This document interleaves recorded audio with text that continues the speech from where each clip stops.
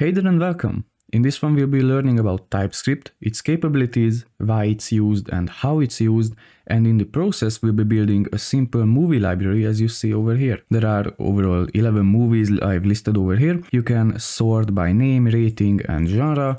This is all on the client side. You can also search for example Batman or Lord of the Rings, it will find it, but it's not the project that's important here, it's the type constraints that we'll be applying using TypeScript. So first of all, let's tackle the question, what is TypeScript? TypeScript is overall more like an extension to JavaScript that introduces types, variable types, and as well as function types. The purpose of this is that when you're working in a team, when one developer who's new to the team looks at your code, he'll know that that actually has to be a string, a number, a boolean value, whatever it has to be. And the new developer won't make, for example, some atrocious mistakes in the code that you have to later debug because the whole functionality is broken. It was supposed to be a number, but he gave a string in there. And this just helps out with the teamwork part of development. Many companies use it, so with that, Let's get started. One thing I want you to take note of is that down in the description there will be all our project files and if you come onto source you'll be able to find a starter files folder over here. Inside that these are the starter files that I will be copying over to the project to start with. It has some basic HTML implemented into it and also the CSS will be wrapped here as well. But apart from that nothing too crazy is going to happen. We'll be writing all the other stuff together. So to create a new project, I will be calling npm create with at latest. Here I'll be giving my project a name, movie-library, and choose React. Overall, you can choose any other language that supports TypeScript, but I will be going vite React because that's one of the most popular ones. So React and then simply choose TypeScript. I will open up this movie library that got created explicitly and now I'll be opening a new terminal and I will be typing in the command prompt npm install. This will install all the dependencies that React needs and once this finishes, we'll have a look at what changed from JSX elements to TypeScript. So if you open up the source folder over here, there are no more JSX files present, instead there is TSX. Overall, there is nothing that actually changed, but the TSX files are able to accept TypeScript syntax. That's all there is to it. Now open up our GitHub repo and pull in the new files from the starter files that I've provided. Once that's done, I will clean up our app for now. So I will delete all of the HTML here and instead we'll be having simply this h1 rendered over here I remove these as well, the app.css and the other stuff can remain. And now if you give out the command npm run dev and run your development server, we'll have a look what this does for us. Overall, exactly what I expected, only the h1. So now we can start working in TypeScript. In TypeScript, the most important and the most used feature are interfaces.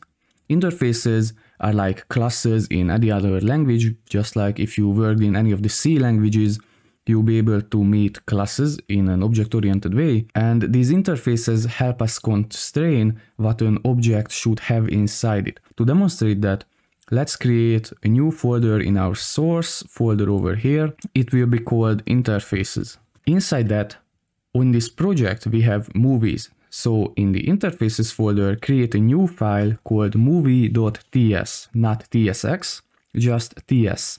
It's good practice if you have some more generic uh, interfaces to encapsulate them over here so you can simply import them later when you need them. To create an interface, you simply type interface and then give it a name, for example movie. Then curly braces and inside this just like an object would be, you define key value pairs but instead of these being key and value, it will be key and type value pairs. For example, each movie should have an ID, right? There will be a number for this. This is a TypeScript specific type. It says that only numbers can come onto this. It can be floating numbers or integer type numbers, but if I was to put strings in here, that wouldn't work. And now put a semicolon, and let's create another one like title and it will be of type string.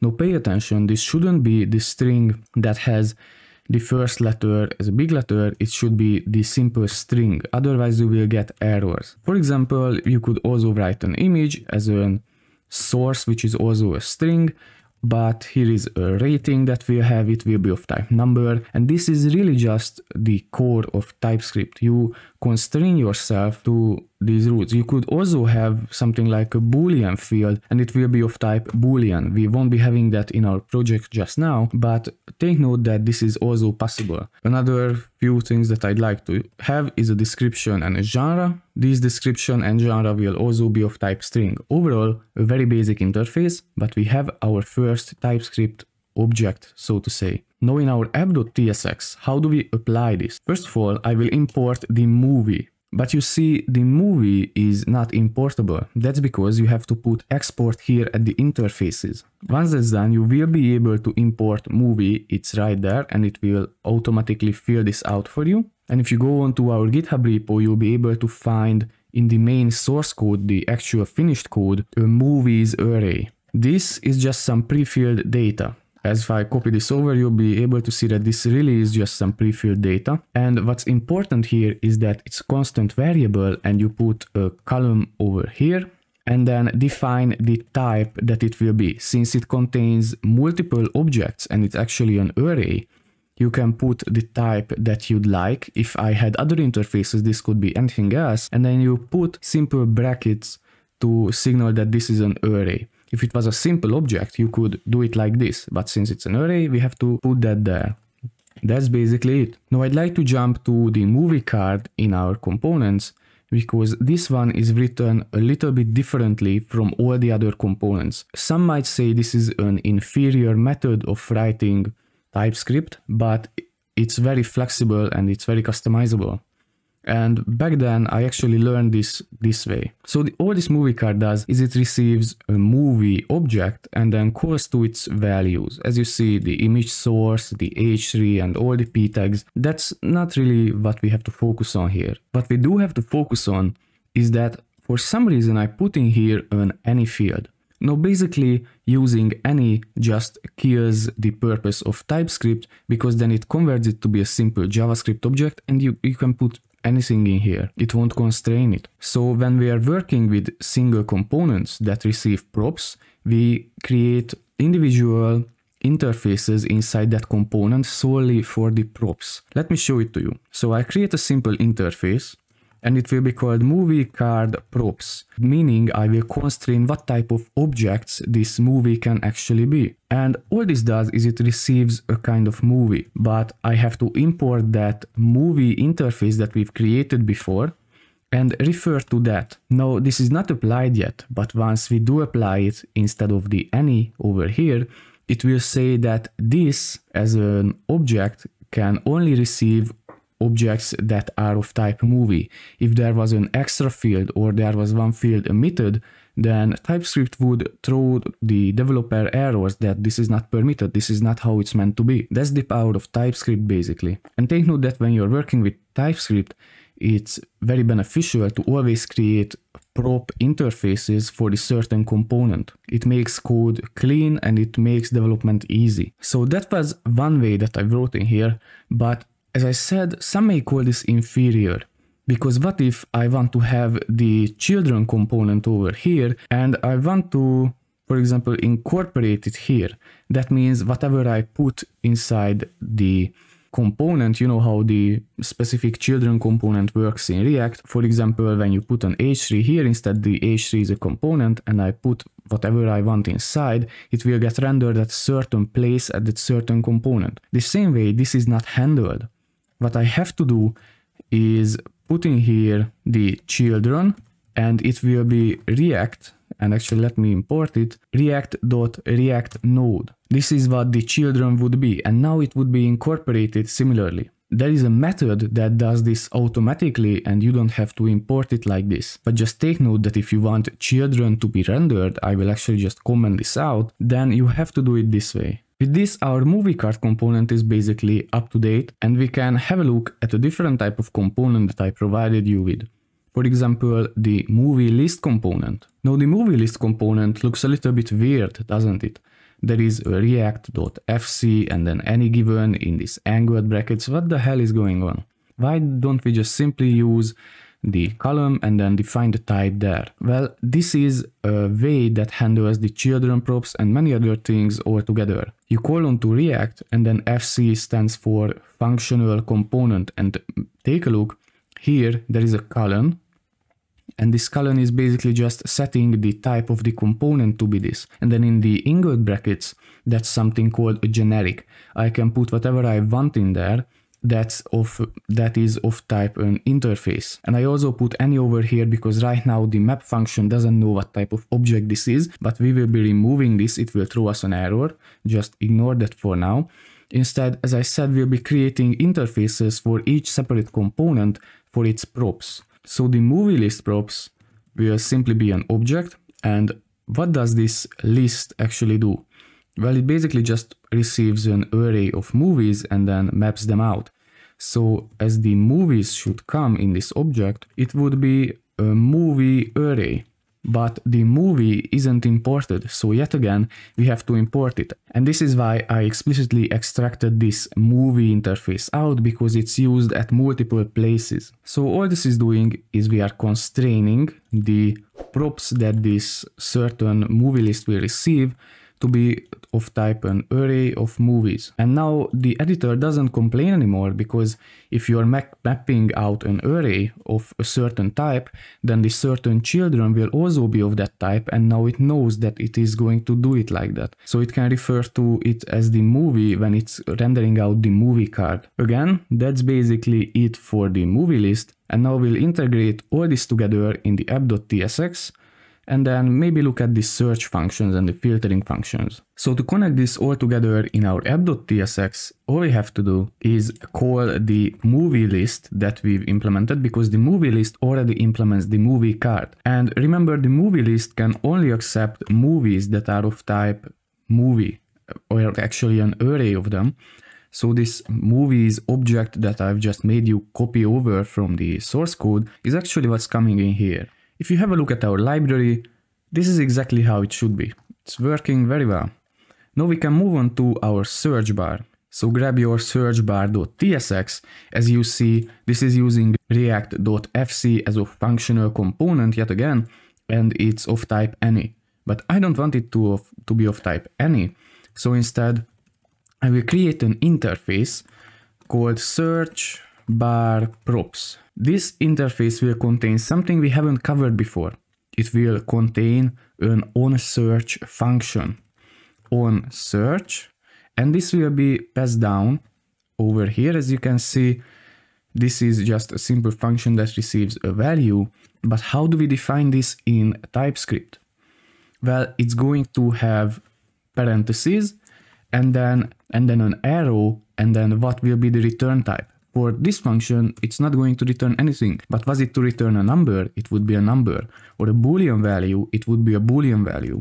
For now, it would be just void because it does not return anything, and you can define the parameters over here. For example, it will be the query because this is actually just a search bar, and the query will be of type string as whatever you enter into that search bar. Now I can come onto here and change this any to be the search bar props. And you also see that there is a function for handling the input change. Whenever you type something into this, it has the on change event hooked up. It also has a useState hooked up. But here the event object is also of type any, which I said is just murdering the purpose of TypeScript. So we have to change this. What is an event object going to be of type? Well, it's going to be of type react dot change event because you can also access a bunch of events over here. So change event and then angled brackets and you define what type of element are we looking for the change at. Well, it's actually an HTML input element, just like this. But if you want other HTML elements, you can simply type HTML and you see that there are a bunch of elements available over here. Most of the time you'll be using HTML input element though. And this way we have this hooked up, it can get the e.target.value out of it, set the query and set the onSearch function. By the way, the onSearch function is only executed once you press the search button, but it's also executed whenever you handle the input change, so, so what every letter typed out. With this, our search bar should be good to go. Let's implement it in our app.tsx. But in our app.tsx, we first have to create some use states and some other stuff to handle rendering.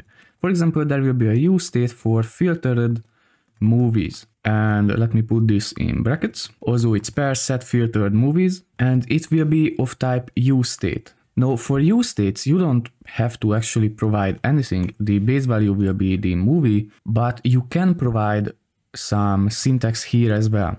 In brackets yet again, as this is signaling generics, I can put in here that this can only be a movies array. Nothing else is acceptable in this certain use state. Down below, we will do something similar it will be the sort option. The use state will be of type string and we will simply put title by default.